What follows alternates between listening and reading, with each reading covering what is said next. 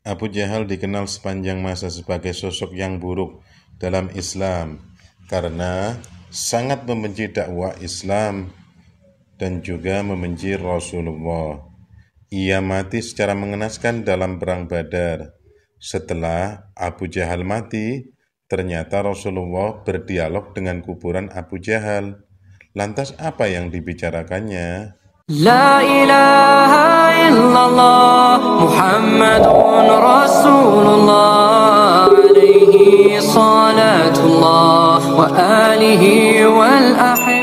Abu Jahal memiliki nama Amir bin Hisham dan dijuluki Abu Jahal, bapak kebodohan. Ia paling benci terhadap Rasulullah. Bukan hal mudah memang untuk Abu Jahal untuk menerima kebenaran. Abu Jahal juga mengakui bahwa Nabi Muhammad SAW merupakan sosok yang baik. Suatu ketika seorang pernah bertanya kepada Abu Jahal tentang sosok Nabi Muhammad. Abu Jahal menjawab dengan menyebutkan bahwa Nabi Muhammad merupakan seseorang yang sangat jujur, tidak pernah berbohong. Karena itulah ia dijuluki Al-Amin. Mendengar penjelasan Abu Jahal, Orang tersebut lantas bertanya, "Mengapa Abu Jahal tidak mengikuti Rasulullah?"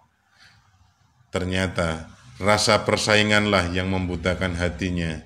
Penyebabnya adalah suku Abu Jahal Bani Makhzum dan suku Rasulullah Bani Hashim terlibat persaingan yang sejak lama. Mereka saling merebutkan kehormatan di mata kaum Quraisy. Abu Jahal berkata, "Jika Bani Hashim memberi makan, kami pun memberi makan. Mereka memberi minum, kami pun memberi minum. Mereka membayar orang, kami pun membayar orang. Sehingga kami duduk di atas kendaraan kami karena kami bermusuhan. Kami seperti dua ekor kuda taruhan. Bani Hashim berkata, di antara kami ada seorang nabi, maka kapan kami mendapatkan hal tersebut? Hal tersebut menunjukkan bahwa hati Abu Jahal ada rasa persaingan dengan Rasulullah. Rasa tersebutlah yang membuat Abu Jahal selalu merasa ingin lebih kuat dan lebih baik, sehingga tidak mau menerima kebenaran yang telah disampaikan oleh Rasulullah Shallallahu Alaihi Wasallam. Singkat ceritanya, kisah ini terjadi pada saat perang Badar. Dan siapa yang menyangka dalam kematian Abu Jahal dalam perang Badar ada andil besar dari dua sahabat yang masih anak-anak. Mereka adalah Mu'adz bin Amru Jamu'ah radhiyallahu anhu dan Mu'adz bin Afra radhiyallahu anhu. Dikutip dari buku yang berjudul Himpunan Fadilah Amal, karya Maulana Muhammad Zakaria, bahwa Abdurrahman bin Auf menceritakan, ketika sedang berdiri dalam barisan perang Badar, melihat di sebelah kanan dan kiri ada anak-anak kecil. Terlintas dalam pikiran seandainya yang di kanan kirinya itu adalah orang dewasa, tentunya akan lebih baik, sebab membantu sekali. Namun kenyataannya cuma ada dua anak kecil di sampingnya. Bagaimana mungkin mereka bisa membantunya? Ketika ia sedang berpikir, salah seorang dari anak memegang tangannya dan bertanya, Paman, kenalkah Paman dengan Abu Jahal? Jawab Abdurrahman, ya, saya mengenalnya. Apa mau kalian dengannya? Anak kecil itu lantas berkata, Aku mendengar ia selalu mencaci Rasulullah Shallallahu Alaihi Wasallam. Demi Allah yang nyawaku berada di tangannya, jika aku melihat tentu tidak akan aku membiarkannya. Ia yang mati atau aku yang mati. Kemudian satunya berkata, Aku mendengar bahwa tidak ada orang yang dapat membunuh Abu Jahal.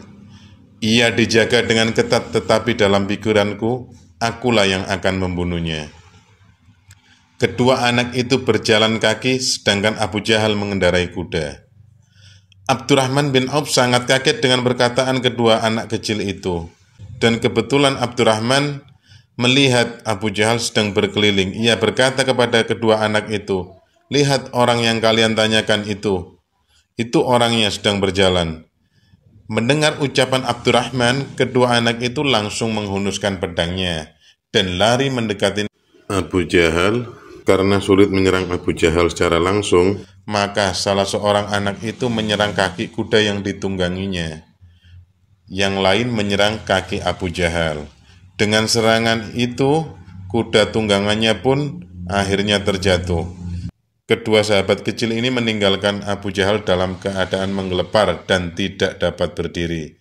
Kemudian dari salah satu anak tersebut, Mu'adz bin Afra radhiyallahu anhu yang bernama Mu'awidz bin Afra datang dan semakin melukai Abu Jahal karena khawatir ia akan bangun dan melarikan diri. Saat itu Abu Jahal belum terbunuh. Lalu datanglah Abdullah bin Mas'ud radhiyallahu anhu yang langsung memenggal kepalanya. Dan setelah kaum muslimin dimenangkan oleh Allah Subhanahu wa taala, kafir Quraisy menderita luka dan kalah. Jasad orang kafir dimasukkan ke dalam kuburan. Setelah ditimbun tanah, Nabi Shallallahu Alaihi Wasallam mendekati kuburan tersebut. Lalu Rasulullah mendekati kuburan tersebut dan beliau berbicara dengan mayat tersebut. Hai Abu Jahal bin Hisham, Hai Utbah bin Rabi'ah, dan Saibah bin Rabi'ah, seru Rasulullah Shallallahu Alaihi Wasallam menyebut nama-nama petinggi Quraisy lainnya. Apakah kalian telah mendapati apa yang telah dijanjikan oleh Rob kalian itu benar? Sontak para sahabat dan Sayyidina Umar radhiyallahu anhu sangat terkejut. Ya Rasulullah, tanya Sayyidina Umar, bagaimana engkau mengajak berbicara orang-orang yang telah menjadi bangkai? Demi zat yang jiwaku berada di tangannya, kalian tidak lebih mendengar pernyataanku, perkataanku itu melebihi mereka. Hanya saja mereka tidak dapat menjawab. Dan itulah obrolan Rasulullah Sallallahu Alaihi Wasallam. Wallahu a'lam. Sesungguhnya kebenaran hanyalah milik Allah.